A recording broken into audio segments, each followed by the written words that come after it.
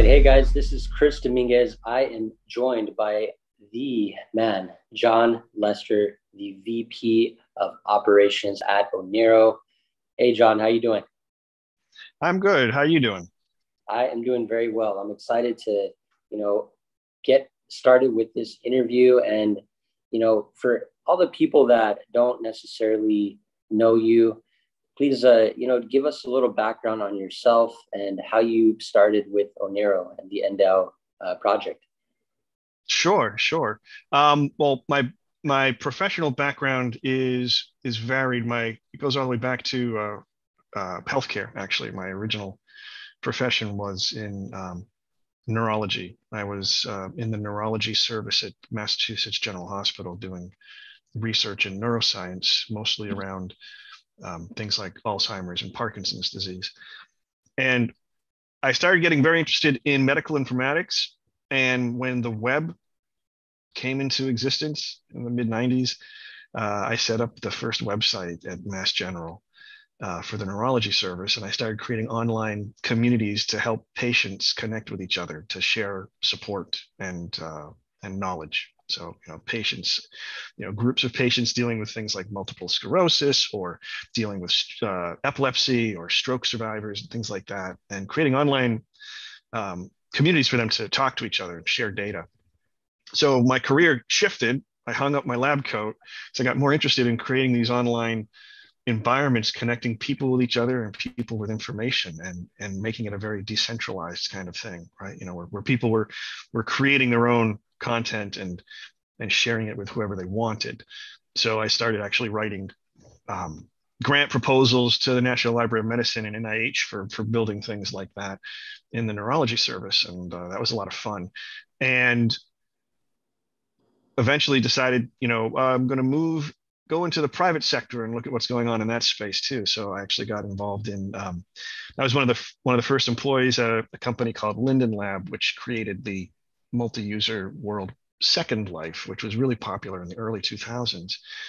And again, this idea of of um, decentralized communities of people and content kind of swirling around in, in, in, in cyberspace. And I heard about, I, I discovered Bitcoin around 2013. And I came at it not from a financial perspective, but because I was interested in any of these kinds of decentralized networks, right, and and and distributed markets and things like that. And it was it fascinated me, and so it became a hobby for me.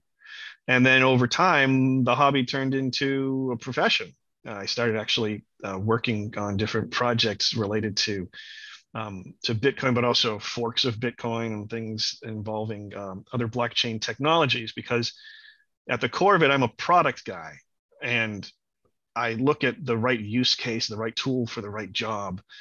And I found that, you know, I love Bitcoin, but it's it's great at what it does, but there are so many other things that yeah. can be done with blockchain tech. So many different use cases. You know, I'm not, I'm not a Bitcoin maximalist at all, although a lot of my friends are. Uh, but I I love the the the uh, ecosystem of different types of cryptocurrencies, and you know, like any ecosystem, there are um, there you know there are the good the, the right creature for the right fit you know and then there are ones that just just don't work out because it's not you know they don't have a right ecological niche to live in. And um so i discovered uh ndau and i knew some of the people who were working at Oneiro in the very beginning and it fascinated me because uh again of this product market fit right? It was you know this, this is a really interesting use case the idea of a uh, cryptocurrency that is uh, self-aware of market conditions and, and adjusts incentives and disincentives dynamically, right? So I thought, wow, this is really cool, and this is really complicated what you guys are trying to build, and I would love to be part of that. So I, I you know, joined the Oneiro team about three years ago now, and um, and I'm still here. That's my journey. That's awesome. That's awesome. And it's really cool that you you've been able to, you know, participate in other ecosystems before you came over and started working with Oneiro. And the mm-hmm. fact that you are a product guy uh, is really fascinating because, uh, you know, I study, you know, the greats like, you know, Steve Jobs and he's very much a product guy. So um, it's it's really exciting when you get somebody that is product focused because you know when you focus on the product the customers will come when they see the value that that product has so mm-hmm. for me uh, you know i was exposed to ndau just last year and i've been now holding and staking my ndau in the ndau wallet for uh, my first wallet for just over a year now so i'm really excited mm-hmm. about how the staking rewards work and uh, that actually brings me to the ndau wallet which we just had an update on the um, the App Store. So, mm-hmm. can you tell us a little bit about the recent update that we just got on the ndau wallet for those that haven't, uh, you know, either downloaded or don't know about the update? Yeah, absolutely. Um, yeah, one of the, one of the cha- one of the challenges we've had is that we've we, we're very we've been around a while, right? We're we're early, and so you know we were doing things like with EAI talking about yields before anyone was talking about yields. No one was even using the term yield back when we invented EAI. You know, the idea of like, oh, it just grows when you hold it in your wallet. We'll call it EAI. We, we didn't call it yield because no one was using the word back then. Um, so sim- similarly, when we built our wallet, the first version, the first major version, and then a couple subsequent releases, um, you know, no one was really using crypto wallets not seriously, you know, not like mainstream, you know, Coinbase users today, you know, because because you know, again, remember this is, you know, um, the the designs were happening about you know three years ago, and um, so you know what's happened since then. Certain sort of you know people expecting certain types of simple sort of UI user user interface and user experience uh, experiences in in just financial apps in general. It's like they're used to seeing, you know, the big number at the top is always the dollar value of all of your of all of your um, your holdings, and and yeah. being able to see, um, uh, you know, market uh, conditions right there in the in the app, and and also being able to you know get things like alerts, you know, stuff like that.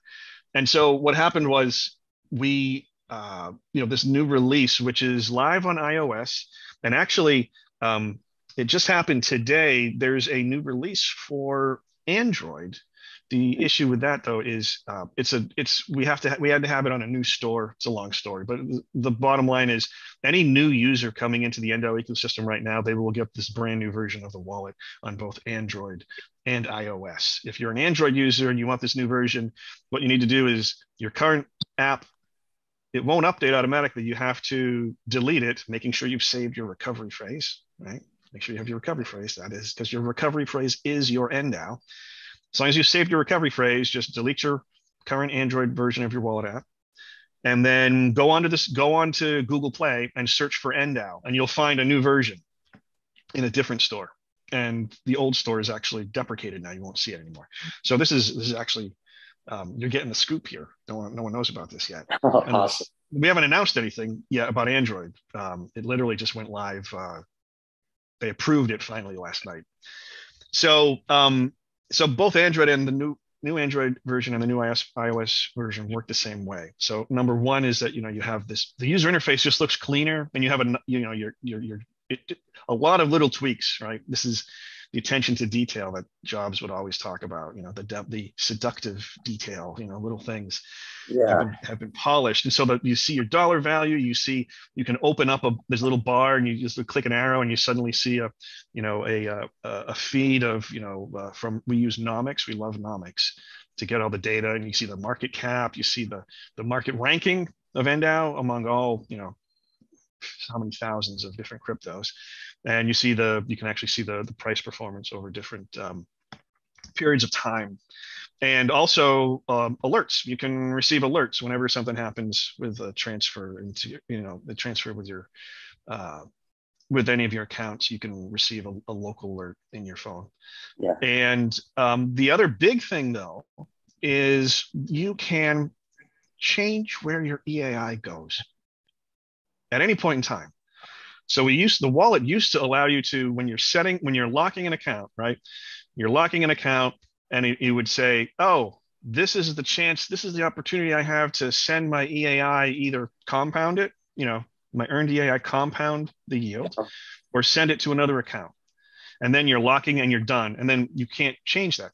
Now you can at any point in time.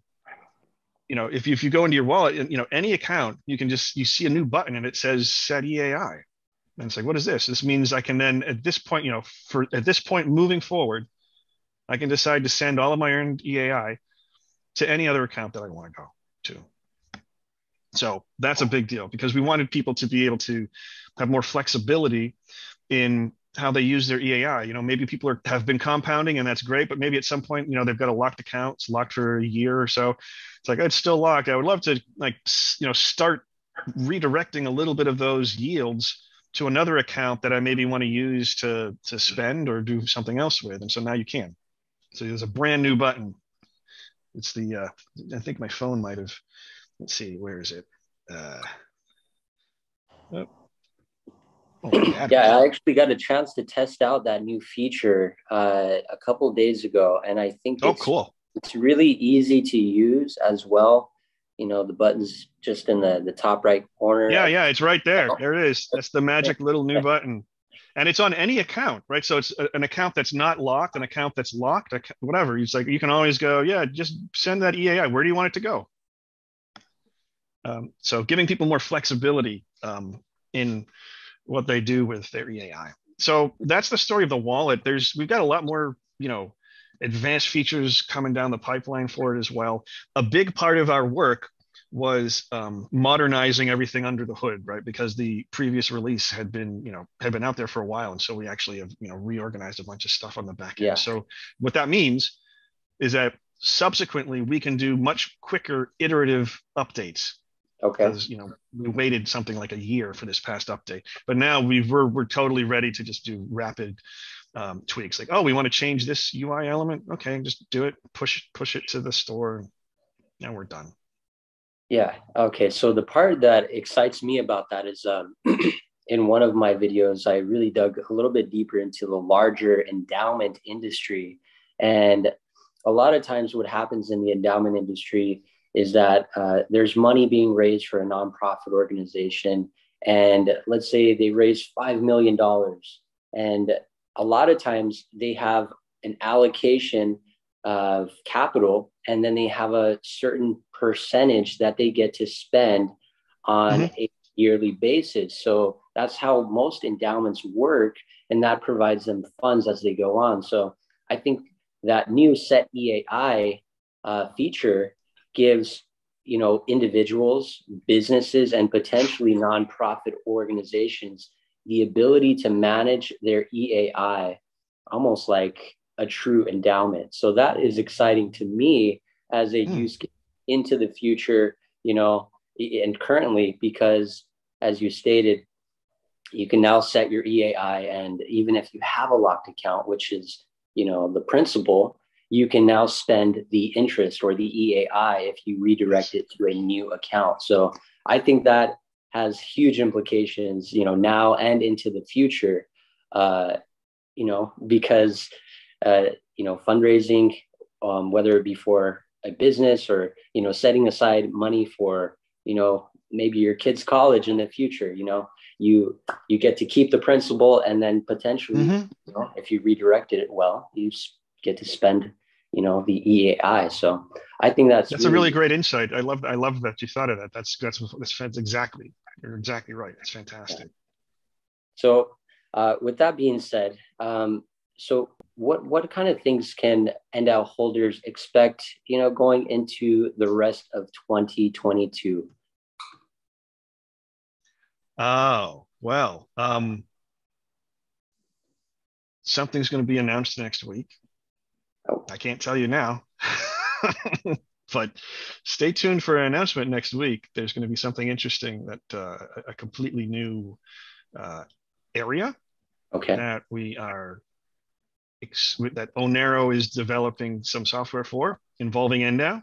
Very exciting. Once you once you see the announcement, um, we should we'll probably want to do another interview. well, I, I, would I would absolutely love that opportunity. Very but it's cool. it's uh we're gonna have we're gonna you know we have some press announcements and so forth. So it'll it'll so anyway so there's gonna be a very interesting thing coming up uh next week.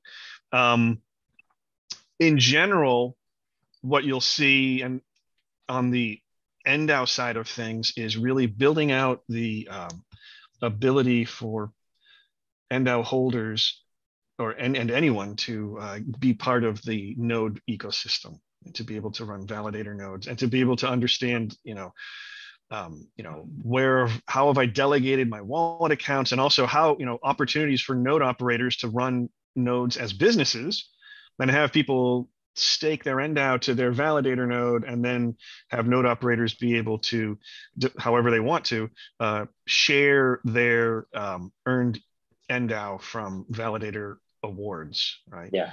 So you know, right now we've got a we've got a lot. We've got uh, you know, a year ago we had uh, a year ago it was basically just the five core validator nodes that Oneiro ran, and since then, you know, we now are up at you know 20 something nodes that are being run by you know other organizations owned by other people. Yeah. And that's and that's great right? Because you want to have a you, you want to have with a proof of stake ecosystem with a proof of stake blockchain you need to have a, a robust and diverse uh, validator node ecosystem so we have we have that now the next step is really really giving because it's a te- it's pretty technical like when you go into the documentation like i want to run a validator node i think i because I do I all of the knowledge base articles I wrote. And I think at the top of the one around validator nodes, it says like, you know, if you don't know what GitHub is, you really should stop right now because this is going to yeah. get technical. know, if you don't know what a shell is, a Unix shell, you should stop. Um, and this is common for other blockchains too, right? Now you want to you, you want to run you know a, a, validator for another blockchain. Try try setting up an Ethereum, you know, one. Um, it's like, oh, okay, I need a PhD. But um, so anyway, we want to democratize that as much as possible. So we're going to make it easier for people to spin up validator nodes and also for you know an ndau holder another opportunity to earn more ndau is you could participate in the node rewards by staking your ndau to a validator node but the way those node rewards are distributed would be up to the validator node. So it's think of it as like a business opportunity, right? You could be like, I'm running yeah. a validator node as a business. If you stake your ndau to me, I'm going to offer you, you know, this percentage of whatever this node earns based on, you know, weighted in, term, in terms of how much you're staking. So the more you stake, the more ndau, the more ndau you receive in the shared pool of node rewards. Plus, you get a free set of stake knives or something, yeah. right? So think of validator nodes like that. Think of them as businesses. You know, look at how banks you know vie to to get people's business. They offer things like you know free set of steak knives or whatever you know? And so that's the next level stuff that's going to happen i think. It's a great opportunity for node operators to differentiate themselves run themselves as businesses and offer different incentives for people to stake to them. And those incentives can be you know part of sharing the node rewards or other stuff. I don't know. You know maybe you know you stake you know, I, I could see someone, I was talking to someone the other day about renewable energy. It's like, wouldn't it be cool? You run a validator node on ndau and it's powered by 100% powered by renewable energy, you know, solar or wind or whatever, something. And yeah. then part of like what you get, if you stake with us, we also, you know, uh, uh, plant a tree for you or something, you know, so, yeah. so you can think of people who are like ecologically mind, very ecologically minded. It's like, I don't, you know, I want to support, I want to earn ndau, but I also want to support the you know the the growth of of renewable energy and improve the health of forests in in in some country or something. So so what's going to be coming from our end is you know we're going to be building out more tools like a um, you know the block you have the blockchain explorer how about an explorer that actually lets you look at what's going on with all the validator nodes and maybe have the validator nodes be able to have a little profile so they could talk about themselves. Hi, I run this validator node. It's powered by solar energy, and here's what here the here's the value proposition if you stake to me, and here's the the the node reward uh, sharing opportunity. Yeah. Um, so so that's a big focus, and that's I would say that's the biggest. You know, aside from all the other other usual stuff about scaling everything and making sure everything is growing, um, that's going to be a big uh, uh, a big a big push moving forward the next uh, you know the next quarters this year that that's really exciting and it's it's interesting to see you know that level of growth of nodes and you know i'm looking forward to see you know how the growth of more nodes will support the network and you know make it more robust mm-hmm. into the future so yeah. um, i do have another question so sure there there are other communities out there. You know, you've got uh, Chainlink. They have the Link Marines, and you know XRP has the XRP Army. You know, and ndau we have the ndau Collective.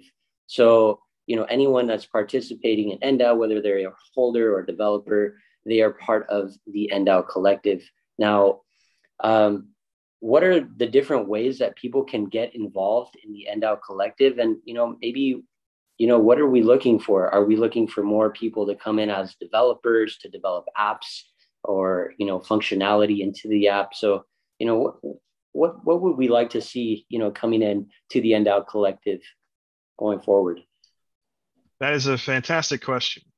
Um, yeah, the, the ndau collective is, because again, ndau is, ndau is like Bitcoin, right? It's like, it's an open source project. It's out there you know, Oneiro built it and developed it, but anyone can build on top of it. Anyone can can can can you know look at the code and get in there and do whatever they want.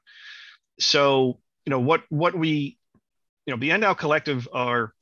Uh, and, and and go to our. I'm not sure if we've updated our web page yet. Here, let's see. Uh, let me check here. The yeah, the current ndau collect, we haven't updated the website yet, but you know, the current, if you go to ndau.io and you look at the top, you see the ndau collective. And that's a really good explanation of like what the, you know, what the whole picture is. And you, get to see that I made that diagram showing the flow of EAI and, you know, it's like an ecosystem. Like, you know, mm-hmm. you know, here's, here's the energy coming from the sun, here are the plants. And, and the key thing about the ndau collective and how different things are funded within this ecosystem is that it's sustainable, right? What you don't want to hear is have you know a lot of you know blockchains come and go, and a lot of these ones that come in and they just go poof and then disappear, you know they they're not sustainable, and you know they have maybe a bucket of of funding or a bucket of this or a bucket of that. Once the bucket is empty, you're done. Um, the way the ndau collective works, if you look at the ecosystem funding and staking rewards and all of that, all of this is driven by the fact that you know ndau is um, EAI is being produced and distributed to holders and being distributed to um, uh, uh, node operators and things like that. So the ecosystem is is um, all of these different parts, you know, software developers, market makers, social media influencers, and there are different things like the ndau nlighten program, which is all of this is listed on the ndau Collective page. So you may want to put a link like in your, your video pointing people to the ndau Collective page. But you know, the, the ndau nlighten program promote, you know, let's is a way to incentivize people to create educational material of which you've created a bunch of great educational materials. Fantastic. And all of this is incentivized by this flow of, of funding that is all being driven by EAI. It's the same way for the node, the, the node operators and, um, um, uh, and, and, and all of that. Now, the area that we need the most growth in is really in developers. That's the, that's the key thing right now. Um, what we want to do is have more people taking existing code or writing new code and having it interface with the blockchain, right? Like today, anyone could create another blockchain explorer. You know, we have the official, it's not even, I mean, it's the one that Oneiro built that quit all the end, all the blockchain explorer is the one that you go to now is, you know, something that's querying the blockchain with API calls. You know, anyone could create a new one. Someone could create one that displays the data totally differently. Someone could create one that lets you explore the data in a, in a brand new way. Um, uh, that's what we really need. We really want to have more developers um, building new things and also looking at the existing code and going like, hey, I can fix that, or I can add this, or I can tweak that and add a new, oh, I can add a new API endpoint. And you know, all of our code is on uh, all the code that Oneiro wrote is on uh, on GitHub, and people could could just take it and run with it. Um, what we're going to be doing in this next, and this is part of also this upcoming you know this year what we're going to be focusing on is we're going to be looking at ways of of offering bounties for open source developers. So we're going to say like hey here's a bounty of how of a particular amount of and you know here's a hundred ndau if you could build something that does this or build something that does that. Um, so we're going to be adding that um, you know in, in the coming months. That's a that's a top a very top level focus of ours moving forward is, is using the the flow of EAI and the ndau ecosystem to fund um, to incentivize open source developers to write code that solves specific things um, that we define that we're going to put up on our web page and put in GitHub as an issue. Hey, if you fix this or you do this new thing, there's a bounty bounty for it. Um, but that said, anyone could come in now and just do whatever they want, you know, on their own, uh, de- define their own project, figure out something that they want to do. Um, but that's the area that um, you know once once we get more growth in that area, then then it's just all good because everyone wins. You know the the uh, the open source development com- community wins. The you know ndau ecosystem wins. Um, people have more options.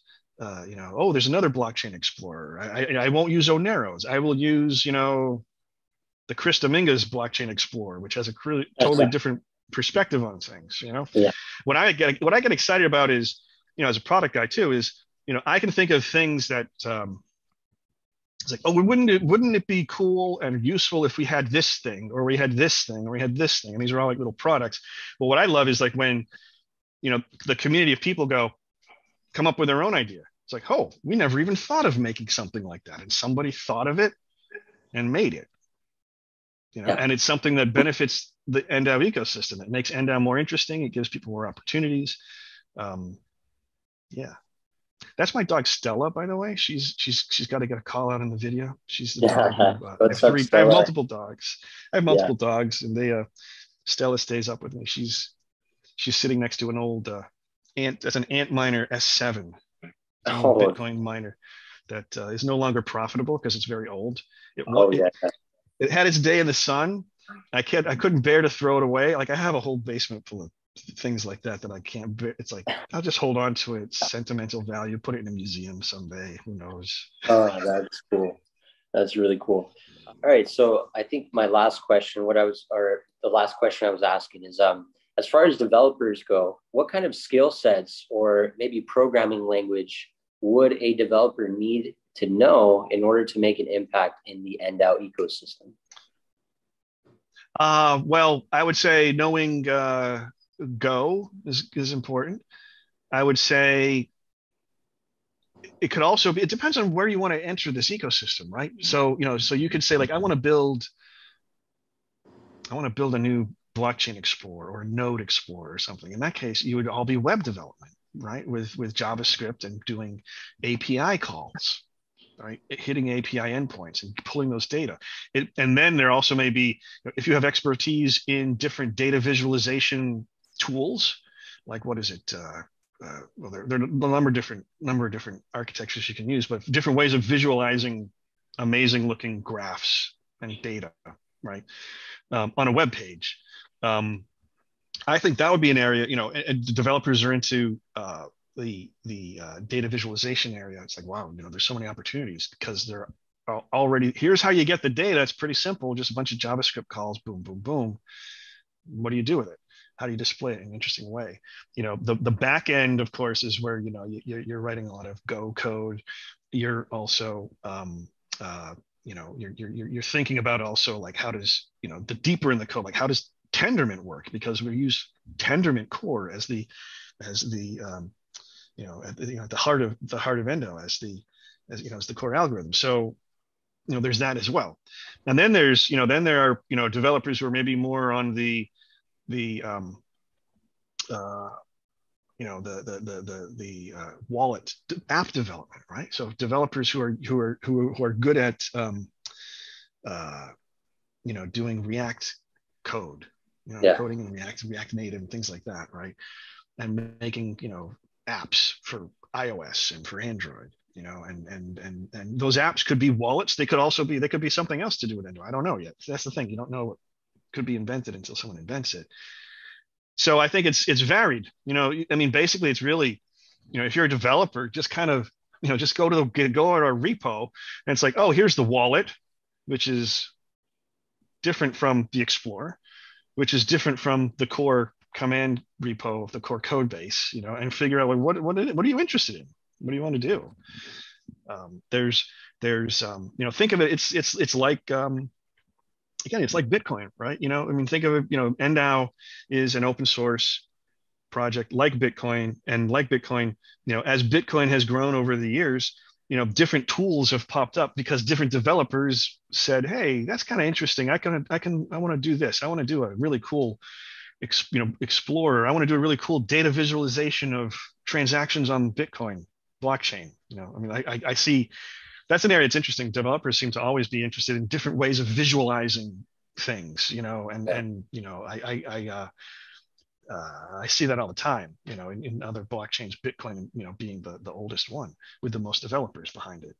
Um, so that's that's I would tell a developer go to our repo, look at it, look at all the different, look at the buffet of things. That looks good. I'll have some of that. Oh, that looks good. I want to have some of the chicken. No, I'm more, I'm a vegetarian. I'm going to look at that.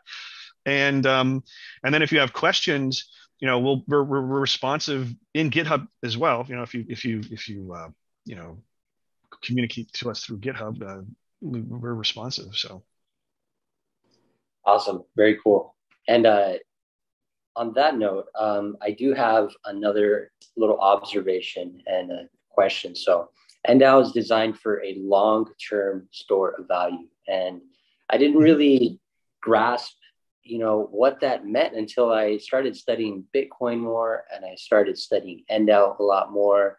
I started studying gold and how it has served as a long-term store of value to people. Now, you know, why why tackle the long-term store of value use case? Why why is that you know one of the central focuses for ndau?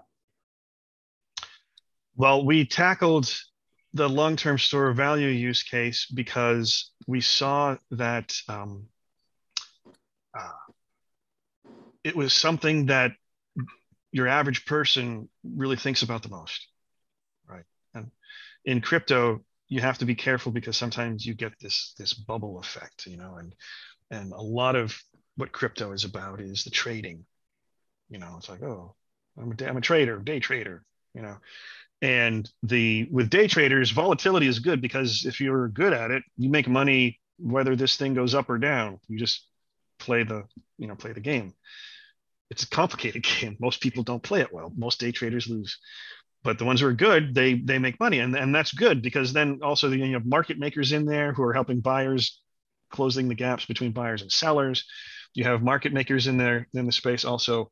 Um, uh, doing arbitrage between different exchanges so that everything levels out because that's what you, you want people to do arbitrage between different exchanges and arbing, yeah. bringing the price oh i can sell it for cheap i can sell it for more here and i can buy it for cheaper here and then that makes the prices come together and reach a level set across all of them that's the, the beauty of free market and open yeah. markets now but your average person like your average person on the street you talk to them about money and they're like i just want to save some and have it, you know, not go away, maybe grow, but I don't know how to make it grow. I don't want to do stuff with stocks. I don't, you know, so your average person, you know, what do they do? They they put their money in a bank where they then get an interest rate that is lower than the inflation rate. So their money is basically bleeding to death in a yeah. bank. It's like, yeah, my I'm, oh, you're paying me 0.5% interest, but the inflation rate is 7%. So what happened to my money? It's worth less, you know? So we tried to think from a product perspective very on, you know, what does the average person want? I want to be able to save my money and, you know, have it not go away and ideally kind of grow on its own. And that's EAI. That's yield. That's what yield is, right? That's what you know. It's with ndau. It's not interest because interest is with fiat, with with with you know government money. But you know, it's it's yield. And so that's what it was all about. And so it was really, you know, we always lead with the long-term store of value, but the, the complete thing is long-term store of value with uh, with yields, right? So like the idea is like you know it's designed to be, you know, have the goal is buoyancy over time, and what you also get is the ability f- through EAI to earn a yield, and that's what your average person wants, and they don't want it to be complicated you know, because right now the yield discussion is usually around DeFi and around like, oh, I can get this APY of 2000%. All I have to do is go onto something called Sushi Swap. It's not a restaurant. It's something. It's not sushi. It's something else. I gotta go to Sushi Swap and I gotta do this and I swap and a liquidity provider. And there's something about I gotta be careful of something called impermanent loss, which doesn't make any sense to me, but it's a danger and I have to be afraid of it, but it's confusing. And then at the end of the day, I somehow earn a yield. you know? So it's complicated. It's, it's unbelievably complicated to to everyone. And your average person on the street it completely blows their mind. So so you know the, the core thing of the ndau has always been around you know your average person who is not financially literate or, or overly financially literate and who wants something better than what the conventional um, banking system provides so okay my money is designed so that it's not going to be inf- the inflation's not going to kill it and over time. Goal of buoyancy it's market aware so it can adjust incentives and disincentives over time based on on where it is in the price point. It's got a real world endowment that exists solely to protect the floor price right? So if it hits the floor price it keeps bumping it up. And um, and anything that it buys off the market goes into the endowment, which is then used to support the, the floor price. So it's sustainable. Again, remember, right? Yeah. It's, sustainable. The endowment is growing because of the endowment being purchased and then being sold. You know, it, it's all part of an ecosystem that's sustainable but all for your average person oh and, and your average person like how do i how do i earn the eai well step one you get it in your wallet you're done you know yeah. it's like it's in your wallet you're earning eai you want to earn a little bit more lock it you're done yeah and and that's always been the goal simplicity from a product perspective it's all about simplicity right i've, I've studied Jobs uh, throughout his whole career. And, and, and, he was, you know, for a lot of us product people, he was, you know, a role model, a role model in a lot of different ways. And I always loved, you know, he would say things like, you know, the microwave oven should have one button plus 30 seconds. And if you think about, like, think about that for a second, right? All a microwave needs is one button that says plus 30. And like, if you hit it, it just immediately starts. So it's like, oh my God, that is brilliant. That's exactly what it is. Like, you don't need, I mean, how many people do that? Oh, I'm going to set the the, the power to 50% and i'm going to you know most people just like throw something in there and they use the like popcorn button which is like a one minute it's like yeah oh this is two popcorn buttons you know oh it's only 10 seconds i'll just do one popcorn button and just look at it and, okay 10 seconds i open it it's done so that that that philosophy has driven you know myself and everyone else at ndau the same thing like trying to keep it as simple as possible and hide the complexity behind all of this code that they don't have to worry about. You know, you, they could dig into it. You could dig into it and play with it, but you know, we want to put the end user have a very simple. You know, I buy ndau, I hold it in my wallet, I'm earning yields, and and and uh, and I, I know it's designed to be buoyant. I don't have to worry about that because ndau will will will be ndau and do its thing automatically, adjusting SIB, adjusting you know, uh, adjusting things based on market conditions. Yeah, that's uh, for me. That's really exciting because you know when I first started staking ndau uh, about a year ago, it was a very easy to understand system, and to be able to get more ndau every single day, you know, or to see the the small portion of ndau growing every single day, uh, was really exciting for me. And psychologically, every day or every week when I got to see my wallet growing more and more, and you know, seeing more ndau growing, it it uh it really got me more invested into the project and into the community. Mm. And you know, for me, that's really exciting because I have a few locked accounts for six months, another one for a year, a few that are three year locked accounts. And what that has done for me psychologically has really invested me long term into uh, ndau and the entire community. So, you know, I've also made great friendships inside of the Telegram groups with different people that are nice. either creating content or asking questions. And I've seen the community grow over time. So I'm really excited that the implications of having ndau being a long-term store of value, it really, uh, you know, gets everyone cohesively on the same page, and uh, you know, we're almost locking arms, and we're all moving towards, you know, a similar destination. Even if we're, you know, I'm here in in uh, California, you know, you're on the East Coast. We have people throughout the world that are holding ndau. So for me, that's exciting the friendships that I've been able to make, the associations with all these really intelligent people, people, you know, far smarter than myself that are doing videos explaining how the blockchain works. And it, it's really exciting to see the community grow. I'm excited to see where it goes from here. And uh, you know, with that, John, uh, do you have any parting words for any of our viewers here? Um, thank you for being part of this journey. You know, we, we've we've um, the thing to remember is you know ndau has been around for a while. It's it's it's it's not a you know flash in the pan thing. You know, we we built this carefully. The blockchain's been you know live for you know we're, we're talking years now.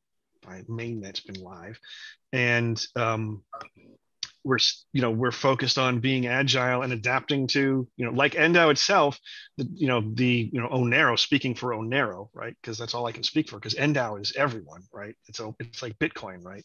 But speaking for you know for Oneiro uh, we're very focused on on being as adaptive as ndau itself, you know, and and and being able to uh, get feedback from the community, understand what's what's people what people are concerned about, understand what's happening in the space of of crypto, which is you know there's all kinds of interesting hap- things happening every day, and taking advantage of that to always position ndau so that it's taking advantage of of uh, opportunities that didn't exist yesterday, because that's that's the thing that you have to be you know most agile about is is um, recognizing a new opportunity and then being like, how does this fit with what we have so that we can make something even bigger? And so that's always our goal moving forward. So, you know, stay tuned to, to what Oneiro is doing. Jump into the, you know, become part of the ndau collective and do something. Do whatever you want to do. Again, think like Bitcoin. It's like, yeah, anyone can do anything with Bitcoin. They can build anything you want with Bitcoin. Maybe build something on top of ndau that we never even thought of before. And uh, um, and if you ever have any, you know, uh, questions or comments, you know, look at our um, our Telegram channel is the primary place for uh, conversations, and keep an eye out for the and ndau nlighten program because we're always looking to incentivize new things. The open source bounties will be rolled into the ndau nlighten program, so you'll be able to go to the ndau nlighten program and see here are marketing things that we could do, and oh, here's a bounty for a, a developer task I could do as well. So keep an eye on the ndau nlighten page. That's another good link you may want to put in the video, uh, in the in the subtext for the video. And um, thanks for being part of the journey. We're all in it together. Awesome. Thank you so much, John. And uh, you know, we look forward to more updates, and hopefully, we can get another interview going soon.